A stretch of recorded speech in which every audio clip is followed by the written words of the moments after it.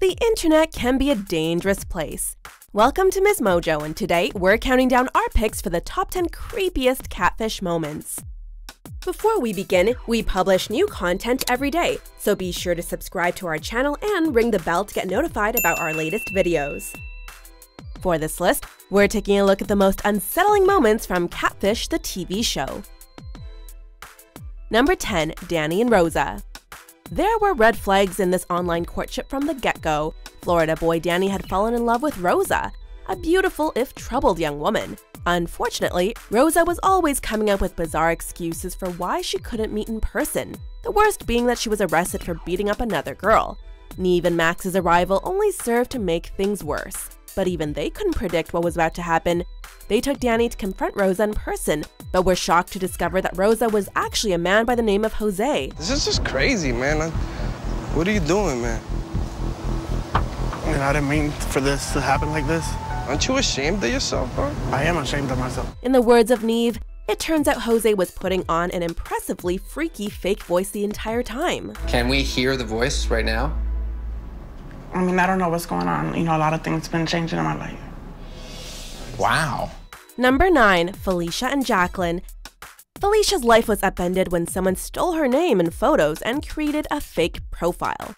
And what Nev and Max found during their investigation was freaky with a capital F. It turns out that the person behind the mask was a girl by the name of Tracy. Oh my gosh. Ew. I don't like her. She stole all of Jacqueline Linkwood's friends. Not only was Tracy unaffected by the confrontation, but she openly boasted that she was proud of her actions. This internet Jekyll and Hyde was living as Tracy during the day and posing as Jacqueline by night. Like the whole Jacqueline Linkwood thing was like Miley Hannah, you know, Tracy by day. On the internet, I was Jacqueline by night. Is that Hannah Montana? Is that how it works? yeah, that's how like I like did everything. When Max asks her if she ever worries about one of her online victims killing themselves, she flippantly responds by saying it would be their fault, not hers. And what if someone you cyberbullied killed themselves? Really? Yeah, really. I wouldn't cry. Like, would you want me to cry? It's not my fault they killed themselves. They made that choice themselves, so it's their fault, not mine. The worst catfish are the ones who have zero remorse for their actions. that was so much fun. Number 8. Lucille and Kidd Cole. The internet is littered with creeps like Kidd Cole, aka Jerez Coleman, who are trying to make a quick buck any way they can. In season 3 of Catfish, Coleman scams were brought to light with the help of Nev and Max. The con artist had been posing as a successful rapper in order to fleece unsuspecting victims of their hard earned money. It's kind of tough. We wanted to find some of your music online, but we. we, we My were... SoundCloud? We went on your SoundCloud page and we looked into some of the songs that you put up there, and you didn't make them. Well, Lucille had had enough and decided to fight back. Unfortunately for her, the confrontation with her aggressor didn't exactly go as planned and ended with Nev tossing Kidd Cole's phone into a river. I like that case. Can I see that?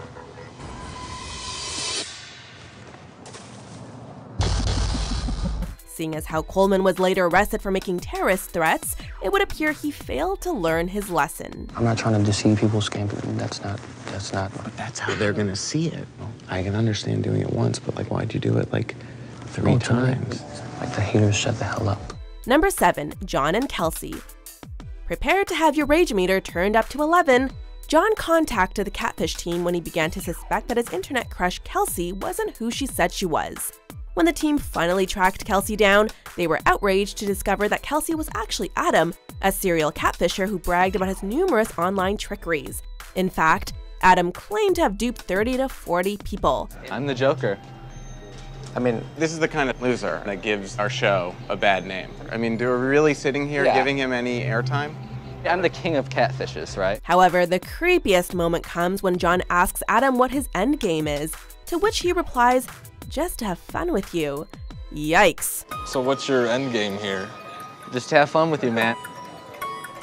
Number 6. Artis and Jess. Everything about this catfish encounter was creepy as hell. Artis met Jess online and the two immediately hit it off, despite both being in relationships at the time. Artis was willing to leave the mother of his three children to be with Jess, but things uh, didn't exactly work out the way he had hoped. Nev and Max arranged for the two to meet. But Artis was flabbergasted when a scruffy dude named Justin showed up instead. You're gay.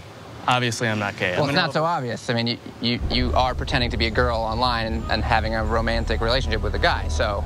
I give it to you. You got me there. Right. So, may, maybe. The encounter was something out of a David Lynch film, with Justin emerging from his car slow clapping and dripping in attitude.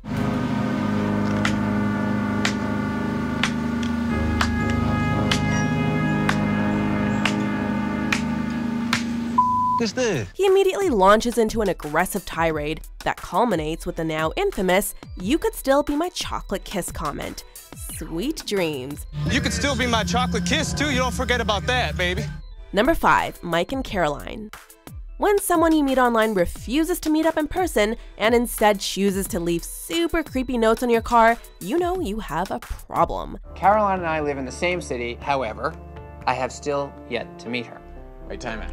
If you're talking to someone who lives in your city and they don't want to meet up with you, they're a catfish and you should run. Such was the case for Mike, who thought he'd met the love of his life in Caroline, only to discover that she was an entirely different person. The creepiness didn't stop with drive by notes either. Mike claims that Caroline would take pictures of the outside of his work and send them to him, and that she told him she had colon cancer. In the end, Caroline turned out to be a woman by the name of Heather, who was not only cancer free, but had actually catfished Mike before. I don't want to not have Michael in my life, no matter how I can have you. Other than being sick and being a teacher and what I look like in my name is real. If that were us, we'd be on the next bus out of town. Why would you continue to put yourself through this? It was being hopeful. It was believing you. Number 4. Rod and Ebony. So Rod has kind of been lying to Ebony. Right. But he's afraid that Ebony has been lying, to him. for I four mean, years. Right. These two potential lovebirds met on an online dating site for gay men. Rod was looking for love, while Ebony, a transgender woman, was simply looking for a friend. The two wound up chatting and eventually professed their love for one another. However, trouble was brewing beneath the surface for the seemingly perfect online connection. I'm disappointed, I'm hurt, and I really feel like I don't know you. Who the f- lies about a name for four years? Who lies about a picture? Who are you? Like, who are you? It turns out that Ebony was not transgender or transitioning at all, and was in fact a biological lesbian woman. Rod was shocked and ultimately confessed, saying he was just using Ebony because she was sending me money, and I don't really have feelings for her. Damn, that's harsh. The two have since mended their relationship, but at this point, they're just friends. I will see if I can forgive you. I don't know. I don't know. I forgive you. Number 3. Blair and Marky. This relationship was steeped in drama from the get go. Blair met Marky on Instagram and the two quickly hit it off. However, when Blair asked to meet up, Marky concocted an elaborate tale involving a kidnapping and a stint in the hospital. A week before they were going to meet in New York after Blair bought a plane ticket for Marky, Marky gets kidnapped. And then a week later, she calls from a mental institution. Things got only stranger when Nev and Max were finally able to get the two women together for a sit down. The mystery girl was surprisingly upbeat about the meeting, but still couldn't stop herself from spinning a web of lies when she was asked to explain herself. I was scared, you're right, but that doesn't mean I wasn't gonna bail out on you. You kind of did, though, if you think about it. We don't know what the creepiest part about this episode was Marky's lies or her overall aloofness to the entire situation. I don't really want you to leave. I don't want you to leave at all. Then be honest. Be honest with me. Number 2. Kayla and Courtney. Although Courtney has been giving me messages from my dad, I haven't seen him since I was a kid. The reason being is that my dad passed away almost 14 years ago. If a stranger contacts you claiming to be a medium for your dead father's spirit, maybe call the cops and not the producers of a reality show. Kayla, whose dad killed her mother before committing suicide, went with the latter, with predictably creepy results. Unlike most episodes of Catfish, Courtney never pretends to be someone else. She simply claims to be acting on behalf of Kayla's deceased father. It's all incredibly spooky, with the eeriest moment occurring when the two finally meet in person. With Nev and Max looking on, the two women share an awkward embrace, with Courtney remarking that Kayla has her father's eyes. You have your dad's eyes. Oh.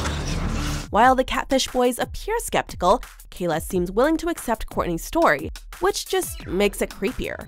It's really hard for me to like cope with all of this at once. I just don't really understand all of this pretty much like it's, it's crazy. Before we unveil our top pick, here are some dishonorable mentions. And I know Carice. I went to school with Carice for four years, and you are nothing like who I was talking to one bit. But didn't you fall in love with McKenna? Who happens to be me? It says my new ring. From Ramon. That's pretty creepy. Did you send No. that note? That wasn't me. Did you send that ring? No, I never sent her a ring. So you kind of created the profile as a trap in a way to meet girls. Yeah, to meet girls, to meet a lot of girls. Because I know Bow Wow, he gets that attention. Like, all the girls love him. But those are straight girls that like Bow Wow. Yeah, I mean, for me, I like a challenge. What's hap- What's going on? Why the f- would you do that? Because. Bring my You f- shouldn't because that ain't You cool. should have never called me a fat ass Kelly Price. I was very uncomfortable at first with the idea of, you know, putting all my pictures online. I didn't know what to think, what could result from it. I thought the picture looked similar enough to me that I could kind of get away with it. Number one, Tracy and Sammy. We're dealing with someone who is, you know, obsessed and and therefore maybe uh, perhaps dangerous. This catfish episode still sends shivers down our spines. Tracy, an actress living in Los Angeles, was contacted by Sammy, one of her fans. She told Tracy all about her friend Reese, who was dying from cancer. And I was like, something's not right. I don't know what it is. And then Dead Reese just favorited her own RIP tweet. She later claimed that Reese had passed away and even provided Tracy with footage of her funeral. Sammy turns out to be 100% real, which does little to calm our nerves. During their tense confrontation, Tracy asks Sammy about that creepy funeral footage, only to discover that it was from Sammy's cousin's funeral. Whose funeral was that? My cousin's. So your cousin died. Yeah. You went to your cousin's funeral and filmed it. What? Uh, yeah, it doesn't get much weirder than that. Do you agree with our picks? Check out these other great clips from Ms. Mojo and be sure to subscribe and ring the bell to be notified about our latest videos.